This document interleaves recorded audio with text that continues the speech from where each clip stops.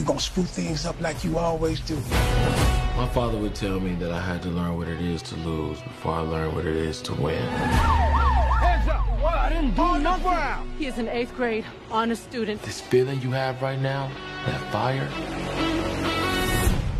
use it. Heart of a lion, fire inside me blaze like a siren. Carry it with you to practice, Wake up the beast, your next game.